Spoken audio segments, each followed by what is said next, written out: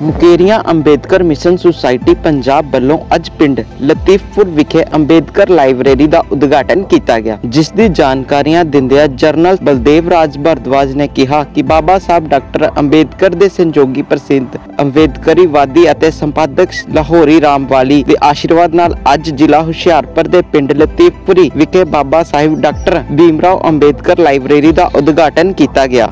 ਮੈਂ ਚਮਨ ਲਾਲ ਜੀ, ਅੱਜ ਇਹ ਬਹੁਤ ਸਾਡਾ ਸੁਭਾਗਿਆ ਸਮਾਂ ਸਾਨੂੰ ਮਿਲਿਆ ਹੈ। ਸਾਡੇ ਬਹੁਤ ਚਿਰ ਤੋਂ ਸਾਡੀ ਇੱਕ ਲੋੜ ਸੀ ਵੀ ਇੱਕ ਸਾਡੇ ਪਿੰਡ 'ਚ ਇੱਕ ਲਾਇਬ੍ਰੇਰੀ ਖੁੱਲੀ ਜਾਵੇ ਤੇ ਅੱਜ ਅਸੀਂ ਬਹੁਤ ਹੀ ਧੰਨਵਾਦੀ ਹਾਂ ਸ਼੍ਰੀਮਤੀ ਸੁਜਾਤਾ ਸੱਲਣ ਕੈਨੇਡਾ ਤੋਂ ਤੇ ਉਹਨਾਂ ਦਾ ਨਾਮ ਹੈ ਲਾਹੌਰ ਰਾਮ ਬਾਲੀ ਜੀ, ਜਿਨ੍ਹਾਂ ਨੇ 6 ਸਾਲ ਤੋਂ ਵੱਧ ਸਮਾਂ ਸਾਡੇ ਬਾਬਾ ਸਾਹਿਬ ਬੀ ਆਰ ਅੰਬੇਡਕਰ ਜੀ ਨਾਲ ਬਿਤਾਇਆ ਆ ਤੇ ਉਹਨਾਂ ਦੇ ਇਹ ਸਾਰੇ ਜਿਹੜੇ ਮਾਰਗਦਰਸ਼ਨ ਤੇ ਸਾਡੇ ਇੱਥੇ ਇੱਕ ਲਾਇਬ੍ਰੇਰੀ ਜਿਹੜੀ ਹੈ, Baba Sahib doctor B R Ambedkar library, ਪਿੰਡ ਲਤੀਫਪੁਰ ਚ ਅੱਜ ਅਸੀਂ ਇਨੈਗੋਰੇਸ਼ਨ ਕੀਤੀ ਹੈਗੀ ਹੈਗੀ ਆ।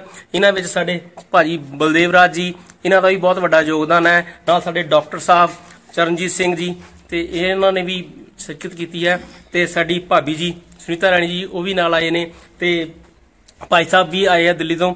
ਠੀਕ ਹੈ ਨਾ ਜੀ? ਇਹਨਾਂ ਦਾ ਸਾਰਿਆਂ ਦਾ ਮੈਂ ਬਹੁਤ ਬਹੁਤ ਸਵਾਗਤ ਕਰਦਾ ਹਾਂ ਤੇ ਧੰਨਵਾਦ ਕਰਦਾ ਹਾਂ ਕਿ ਇਹ ਸਾਡੇ ਇੱਕ ਛੋਟੇ ਜਿਹੇ ਉਪਰਾਲੇ ਦੇ ਵਿੱਚ ਇਹਨਾਂ ਨੇ ਸਾਡੀ ਮਦਦ ਕੀਤੀ ਤੇ ਸਾਡੇ ਮੈਂ ਸੁਜਾਤਾ ਸੈਲਨ ਮੈਨੂੰ ਅੱਜ ਇੱਥੇ ਆ ਕੇ ਬਹੁਤ ਚੰਗਾ ਲੱਗਾ, ਬਹੁਤ ਸਾਲਾਂ ਤੋਂ ਮੈਂ ਜੀਜਾ ਜੀ ਨੂੰ ਕਹਿ ਰਹੀ ਸੀ ਕਿ ਤੁਸੀਂ ਮੈਨੂੰ ਆਪਣਾ ਪਿੰਡ ਦਿਖਾਓ।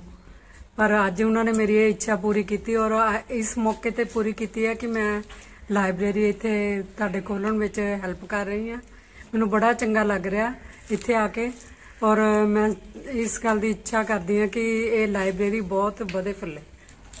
ਸਭ ਨੂੰ ਪਹਿਲਾਂ ਤੁਹਾਨੂੰ ਸਾਰਿਆਂ ਨੂੰ ਦੇਖ ਕੇ, ਤੁਹਾਡਾ ਉਤਸ਼ਾਹ ਦੇਖ ਕੇ, ਤੁਹਾਡੀ ਸ਼ਰਧਾ ਦੇਖ ਕੇ ਮੈਨੂੰ ਬਹੁਤ ਮਨ ਨੂੰ ਖੁਸ਼ੀ ਹੋਈ ਹੈ ਔਰ ਮੈਂ ਸਾਰਿਆਂ ਨੂੰ ਬਹੁਤ ਸ਼ਾਬਾਸ਼ ਦਿੰਦਾ, ਧੰਨਵਾਦ ਕਰਦਾ।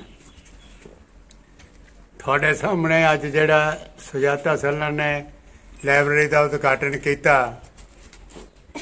ਇਹ ਬਹੁਤ ਹੀ ਇੱਕ ਸ਼ਲਾਘਾਯੋਗ ਕਦਮ ਹੈ ਔਰ ਇਹਦੇ ਚ ਬਲਦੇਵ ਰਾਵ ਜੀ ਨੇ ਜਿੰਨਾ ਯੋਗਦਾਨ ਪਾਇਆ, ਉਹਨਾਂ ਦਾ ਵੀ ਬਹੁਤ ਸਾਰਾ ਮੈਂ ਪ੍ਰਸ਼ੰਸਾ ਕਰਦਾ।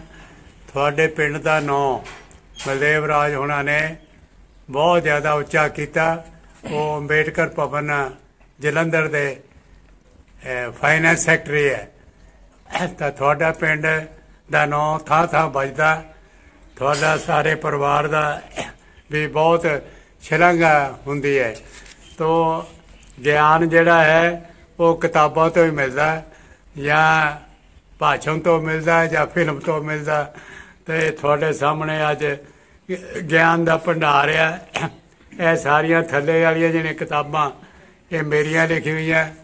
ਉਹ ਬਾਬਾ ਸਾਹਿਬ ਅੰਬੇਡਕਰ ਦੇ ਜਿਹੜੇ 22 ਵੋਲਿਊਮ ਹੈ ਉਹ ਹੈ, ਤਾਂ ਇਹ ਬਹੁਤ ਤੁਹਾਡੇ ਸਾਹਮਣੇ ਗਿਆਨ ਦਾ ਖਜ਼ਾਨਾ ਇਹਨੂੰ ਠੀਕ ਢੰਗ ਨਾਲ ਇਸਤੇਮਾਲ ਕਰੋ ਔਰ ਇਸਤੇਮਾਲ ਕਰਕੇ ਆਪਣੇ ਗਿਆਨ ਵਿੱਚ ਵਾਧਾ ਕਰੋ, ਜਿਹਦੇ ਨਾਲ ਤੁਹਾਡਾ ਪਰਿਵਾਰ, ਤੁਹਾਡਾ ਸਮਾਜ ਸਮਾਜ, ਤੁਹਾਡਾ ਰਹਿਣ ਬਹਿਣ ਬਹੁਤ ਚੰਗਾ ਬਣੇਗਾ।